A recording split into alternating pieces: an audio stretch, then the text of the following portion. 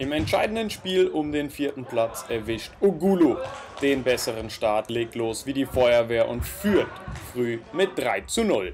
Aber Kick Media lässt sich davon nicht aus dem Konzept bringen, erzielt schöne Tore und kommt auch früh zum Ausgleich 3 zu 3.